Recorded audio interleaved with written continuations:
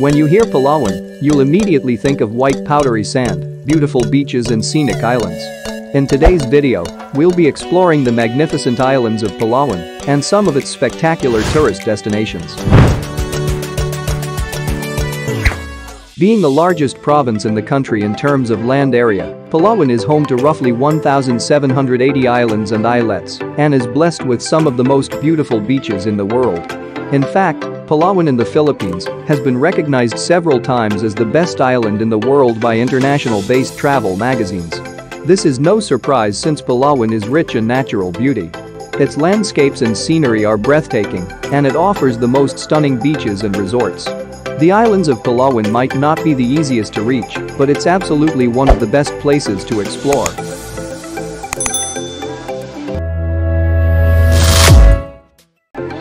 Palawan is accessible via sea and air travel. You can take the ferry from Manila going to Palawan, which has around 24 hours travel time, or just an hour and 30 minutes direct flight from Manila to Palawan. One of the top tourist destinations in the province of Palawan is Coron. This is situated in the north of Palawan, and it's famous for its fascinating shipwreck sites. From Manila, you can get to Coron by taking the super ferry, which goes to Puerto Princesa once in a week. Or you can easily reach Coron by flying from Manila to Busuanga Airport. One of Coron's best attractions is the shipwrecks of Coron Bay, a series of magnificent trek sites for snorkeling and diving. Some of its popular diving sites include the Okikawa Maru, which is the largest wreck of the Coron Bay. The Olympia Maru. The Akitsushima. Kogyo Maru. And the Arako, which is one of the best treks in the Philippines.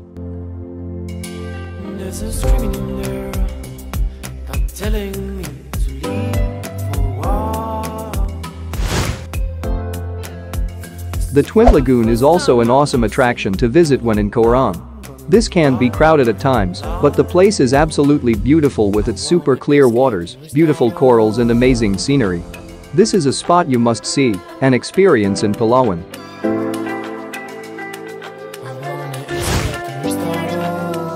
Just close to the Twin Lagoon is the Barracuda Lake. The lake offers one of the most unique diving experience in the Philippines. It is a favorite diving spot famous for its thermocline, Maximum depth is around 40 meters, and its water temperature varies at different layers and becomes warmer as you swim deeper.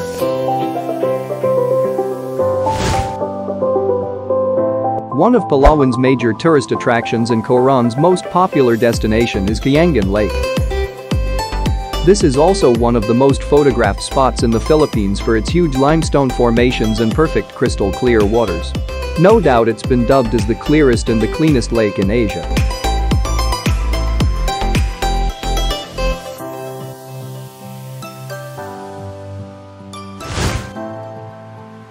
Palawan is not only home to beautiful beaches, but also to gorgeous mountains.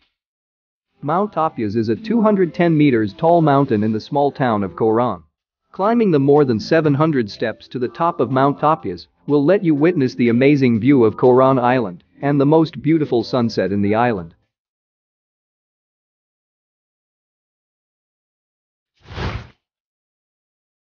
The Siete Pecados in Coron is also a popular tourist spot in Palawan. Siete Pecados consists of a group of seven rocky islets laying just a few hundred meters off Coron town's coast. Many tourists consider Siete Pecados as one of the best snorkeling spots in Palawan. The place is a protected area so there's a wide variety of fishes and corals. It's another must-see attraction when in Coron.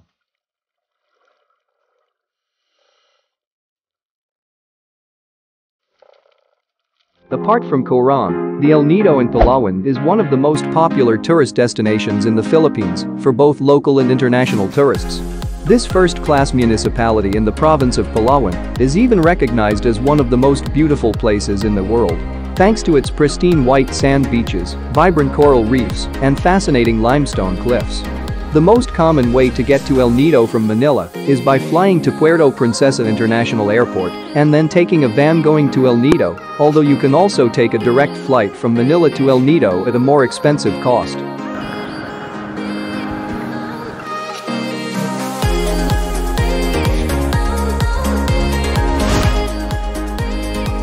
With the innumerable tourist attractions of El Nido, the Nacpan beach is one of its primary attractions. This gorgeous beach is big enough and has several shops and places to eat. Just like any other favorite spots, the Nacpan beach can also be very busy, but it is definitely worth a visit.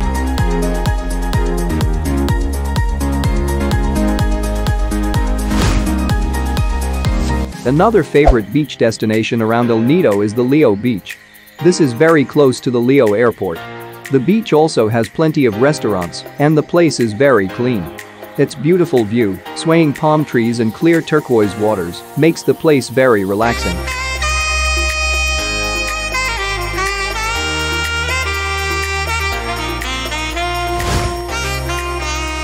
Las Cabañas Beach is also a very easy to find beach in El Nido, the beach is just a few minutes away from El Nido's main town, and it's very popular among many tourists.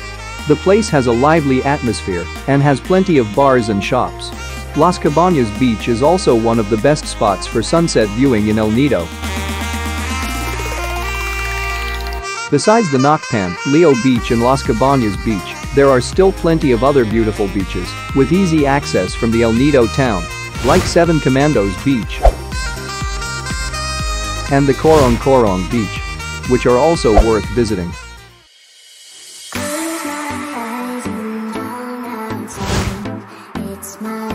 For adrenaline junkies, hiking to the top of Taraw Cliff during sunrise is a must when visiting El Nido.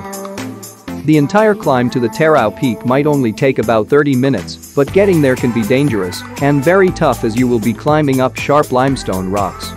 Just make sure to wear comfortable shoes when climbing the Taraw cliff and you will be rewarded with the spectacular view of Bacuit Bay when you reach the peak.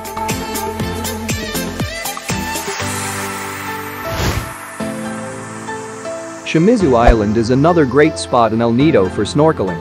The island is full of beautiful and colorful fishes and corals which makes the snorkeling experience spectacular and has crystal clear water which is perfect for swimming and capturing great photos. The only way to visit the fascinating Shimizu Island is by booking an island hopping tour.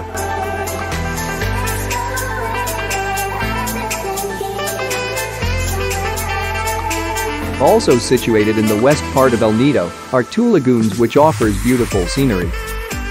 The beautiful crystal clear water, incredible cliffs, and captivating caves of the small lagoon in Miniloc Island can be entered by swimming through the small gap of giant limestone rocks or with the use of a kayak.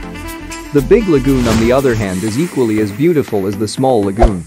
Renting a kayak for an hour will only cost you about $5, but it's worth every penny.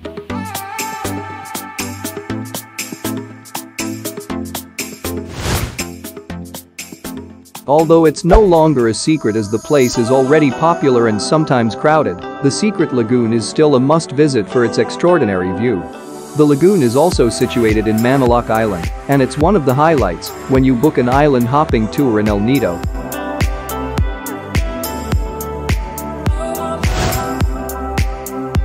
When in Palawan, do not also miss to witness the fascinating beauty of El Nido's hidden beach which is found in Matinloc Island.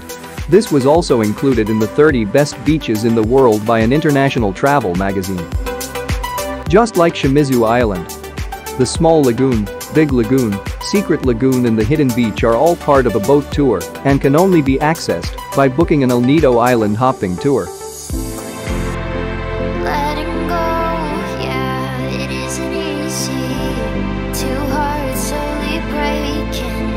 When in Palawan, its capital Puerto Princesa is clearly worth exploring.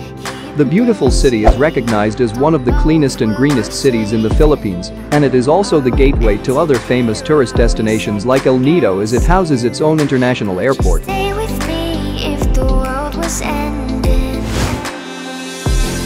Puerto Princesa is most famous for its underground river, or the Puerto Princesa Subterranean River National Park which was voted as one of the new seven wonders of the world in 2012. The underground river is located in Sabang, which is two hours drive away from the city center of Puerto Princesa. The fascinating cave has many beautiful rock formations and with thousands of bats living in it. Visiting the underground river of Puerto Princesa is definitely one of the most exciting experience when visiting Palawan.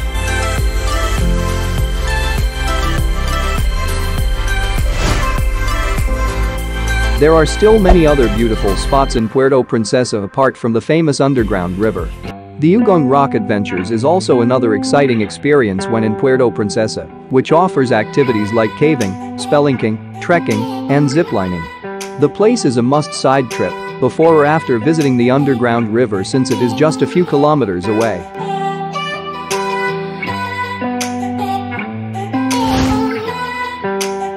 Also a very popular tourist attraction in Puerto Princesa is the Honda Bay. There are several attractions to see in this gorgeous island. This includes the Starfish Island which is home to various starfishes of different colors and sizes. It also has the Luli Island, Pandan Island and Cowrie Island which are all blessed with white sand, clear waters and great for swimming and snorkeling. The Honda Bay of Puerto Princesa is absolutely the perfect place for relaxation.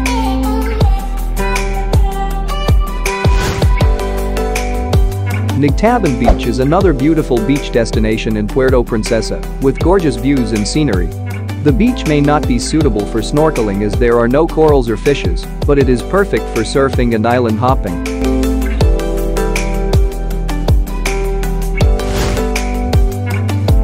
When visiting Palawan, do not also miss to check the Puerto Princesa City Baywalk Park.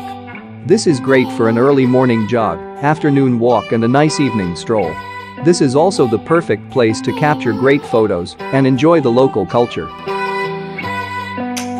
Outside of these popular tourist destinations, Coron, El Nido and Puerto Princesa, Palawan still has other many amazing attractions to explore.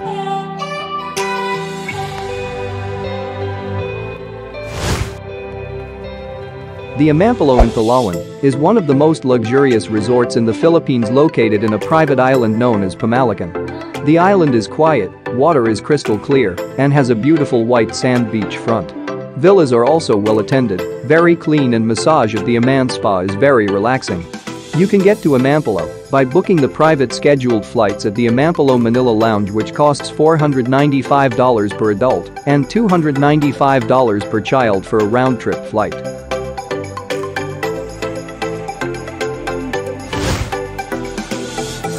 Besides the Puerto Princesa Underground River, another UNESCO-declared World Heritage Site in Palawan is the Tubataha Reefs National Park.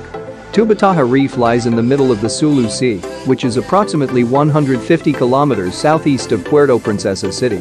This spectacular underwater world is home to over 1,200 marine species, including corals, sharks, fishes, sea turtles, dolphins and whales. From Puerto Princesa, it takes around 10 hours to get to Tubataha by boat, and it's only attempted by scuba divers from mid-March to mid-June. The Port Barton of San Vicente in Palawan is not so popular among tourists which makes it a quieter and a more laid-back version of El Nido. The small village is home to stunning beaches with a number of great sites to snorkel. Island hopping, swimming with the turtles, and exploring the nearby waterfalls Bigaho Falls and Pamuayan Falls are just some of the best things to do in Port Barton.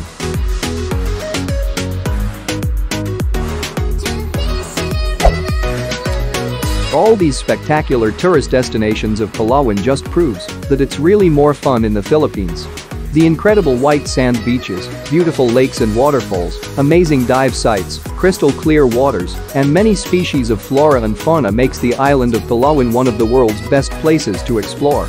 Remember to subscribe and hit the notification bell to be notified of our future videos.